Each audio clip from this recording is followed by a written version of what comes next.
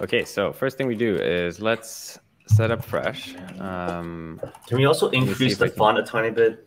Yeah. Totally. Thank you. Awesome. Perfect. Uh, I, I don't remember the install command off by heart, so let me copy it. Oh, that is not it.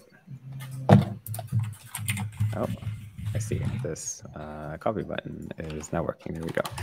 Okay. Installing some dependencies. Uh, we're going to use Tailwind. I'm using VS Code, and that's our fresh project. Okay, so Deno task start. Um, oh, I think I have, yes, something running in the background. Cool. Um, uh, let's see here, browser. Let's pop that to the side. Let me. Okay, cool. Um, okay, so let's delete some of the stuff we don't need here and get started from the start. So what we're going to be building is a little paste app. Uh, what should we call this? Deno paste. I, I, call it. I call the folder Deno paste, but I don't know. Deno paste works. Let's do it. Okay. Paste. cool. Um, okay, so title Deno paste. And then the first thing we're going to need is an input field that folks can post their data into. We're going to put this into a form. We'll set up the form in a second here. Let's let's do the UI first. Um, have a text area. Let's just follow what Copilot is doing here. Um, that's okay. Uh, da, da, da, da. There we go. There's a text area. Let's style that a little bit. Um, let's see here. So maybe it can have a border. And do we need anything else? This can be like text XL, larger text, some padding. Okay, this is great. Uh, so I can I can write stuff in here, and hopefully I'll be able to submit it in a second. Okay, so um, we write our text. What we want to do is we want to um, send this data that you've entered into the text box when you submit back to the server um, within through a post request. And then on the server, uh, we store this data in the database and return back a URL. And then we'll show that URL on screen, or, or maybe we'll just redirect you directly to um, the URL that has your saved um, text. Um, and the URL will have like a unique, um, like unique string in the in the in the URL that like that yeah um, is specific for the text you pasted. Actually, let's also add a button here, as a submit button.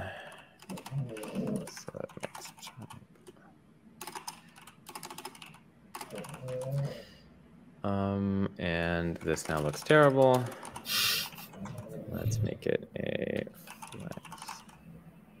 Okay, cool. This nice. looks somewhat better. Uh, let's add more borders.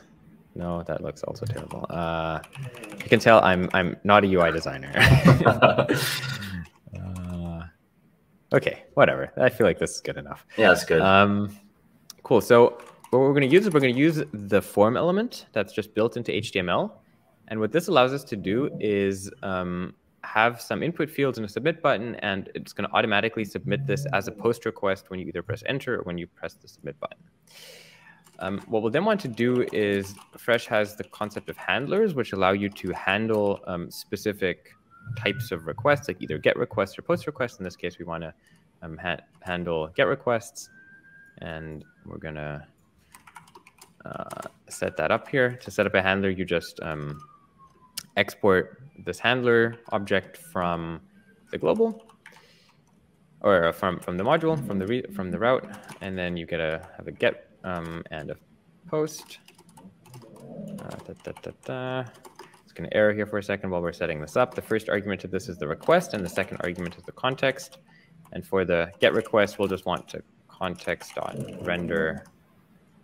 And um, let's see. Oh, this should be handlers. That's the problem. Cool. Yeah. So this should be context render, and this is just going to render the uh, page in theory in practice, it's not doing that. Um, oh, wait, because I need to manually refresh. Haha, there we go.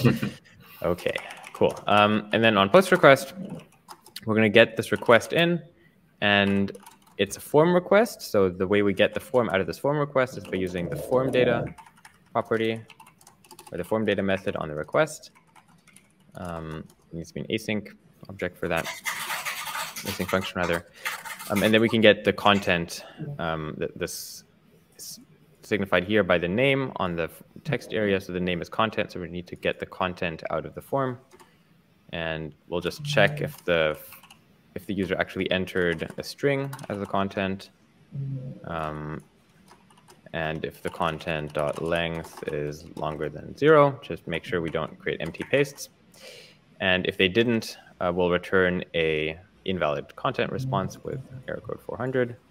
And if they did, we'll, uh, I guess we need a KV store. So let's create a folder here, utils.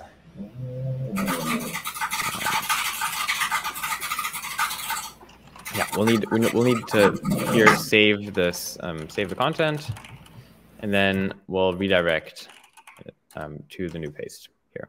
I think that so content implement... should be equal to zero. Mm. Oh, right. Yes. Uh, if it's not a string or if the length is equal to zero, then yes, good, good catch. Okay, so let's implement the methods we need for getting and um, or for saving and retrieving from the database. So first, let's set up a Deno.Kv. Um, let me enable deno.unstable so we get the right type completions. Need to do this here also.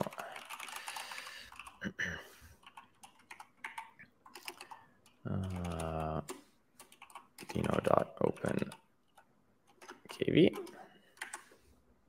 this going to work? Um, oh, I think we need to include the Unstable. Yes. Okay. There we go. So uh, we're opening the new KV database, and then we'll export a function um, to save a paste. And what this is going to do is it's going to take the content as a string, and it's going to return the ID that we saved it as. Um, and first, we'll need to create a new ID. So I guess we can use whatever Copilot is suggesting here. Uh, let's actually see if this if this does the right thing the use UID. yeah, this is fine. I, I, like this more than GUIDs. That's, that's Copilot's doing a good job for once. and then we do kv.set, and uh, we'll store this under pastes ID, the content. And then we'll return the ID. Okay, so that's our save paste function. Um, we can use this in our post request here now. Save paste for the content, and this is going to return the ID. And then we can return a new response, um, and it's going to be a redirect. Maybe I should disable Copilot because it's like doing all of what I'm meant to be doing here. Um, what we're going to be doing is we're returning a response for the 302 status code, which is the redirect and the location header for where to redirect to. Um, yeah, so let's try that out. In theory, we should now be able to um, refresh this page and put something in here and submit. And then um, the URL bar didn't update, but it's it did redirect us somewhere. Um, but we can't see anything, right? Because we didn't actually add the page we're redirecting to. Okay, so let's do that next. Um, let's let's try this out in the in the browser to see the URL actually changing.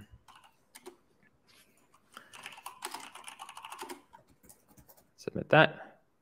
And oh, I am not awaiting a promise somewhere. Haha. Let's try that again.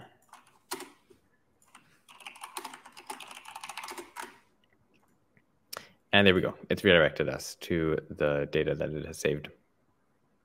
Cool. Um, so now let's add the page to actually display that paste. we'll create a, a new route for that. Uh, this route's going to be dynamic on the ID because we'll, we want it to match any ID um, after the slash here. We'll, we'll just copy this and we can start from here. Okay, so this page does not need a post request. This only needs a get request. And this time um, we're going to get context.params here. So this is the parameters that it parsed out of the URL. Uh, what we want is the ID. Let's get the ID. Um, and let's start by just logging out the ID. And refresh that. And you can see it gets the ID out of the URL. So if I refresh a couple more times, you can see the ID updating up there, down there. Um, Okay, so next thing we'll need to do is add the function to retrieve the paste from the database. And again, Copilot is doing all of my work, except it's wrong. Ah. So what we're going to do here is we're going to get the paste, and um, it's possible that the user supplies an ID to a paste that doesn't actually exist. And in this case, this response object is going to have a value of um, null. Let's add some types here to make the types a bit better. Res.value. So you can see here the value is either going to be a string or null, depending on whether that paste exists or not. Uh, we're just going to return the string or null from this paste and then deal with the null case in the get handler here. So uh, what we can do here is if, uh, right, so get the content by calling await.get paste ID. And if the content is null, we'll return context dot render not found. And this is just going to render the not found page. Um, and if it was found, then we're going to pass the content to the render function here. And we're just going to add some more types again to make the types a bit nicer. And yeah, the, we can then retrieve the content from the props here. Page props And then let's see, we can do props dot data, and this is going to be that string that we passed to the render function up here. And if I pull over this, you can see if I write something in here, hey Andy, submit, I now have that saved. Um, and I can visit this in other tabs, and it's going to persist at this ID now. Awesome. Wow. Yeah, that was faster than I expected. yeah. Uh, so yeah, two pages um, and no islands. We didn't even use the components folder. Let's clean this up a little bit. Yeah, so uh, let's recap through how this works again. So um, we have the index page that renders a form with a text area and a button. Let's close this browser so you can see better. Um, when you submit this form, it triggers a post request. We handle this post request in the route handler up here.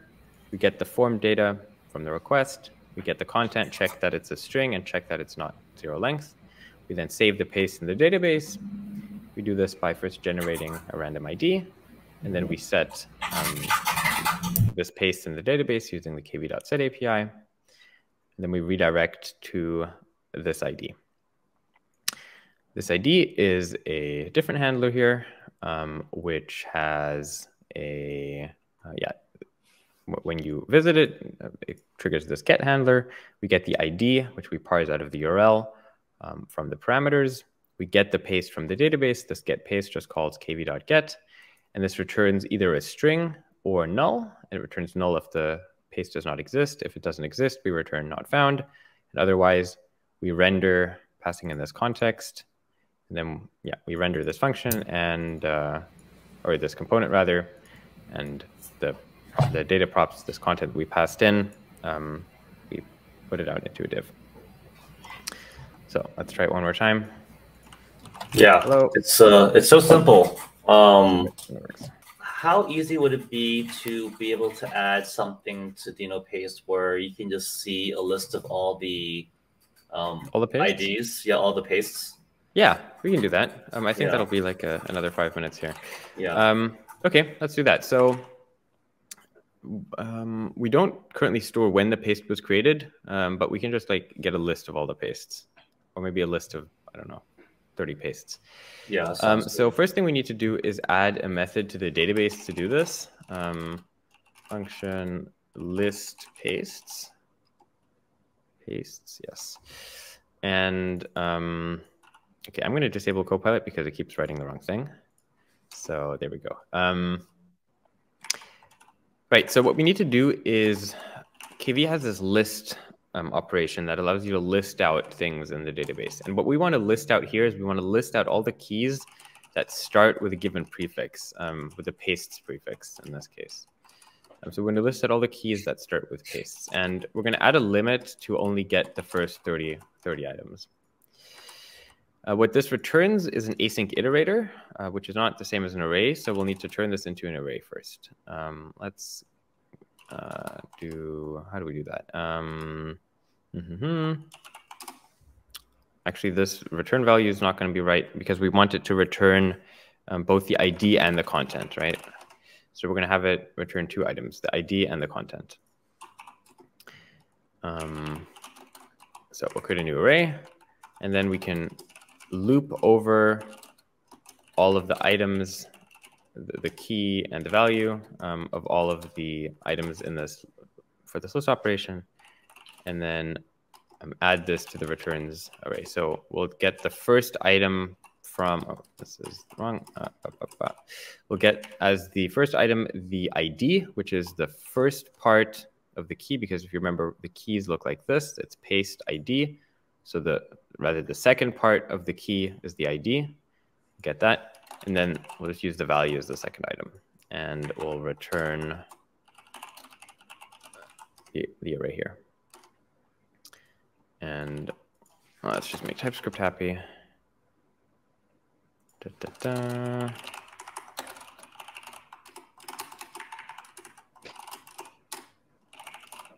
I think I spend like half of my time making TypeScript happy, but hey, at least I get nice auto completion. Um, cool. So then what we can do is we can call this list pastes operation. Pastes. Again, in the get handler, this time of the index.tsx.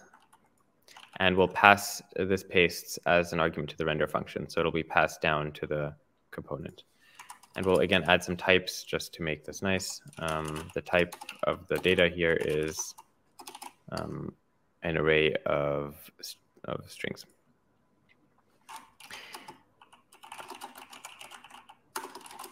And we'll do the same here.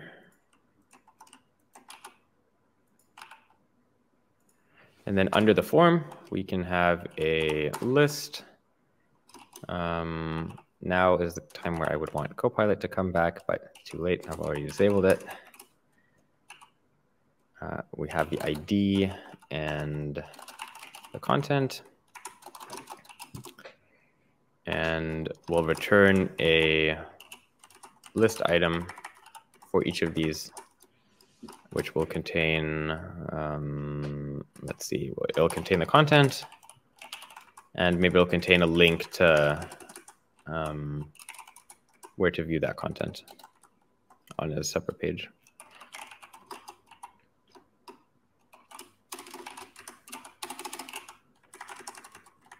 Uh,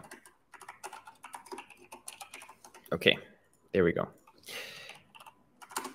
And if I look at this now,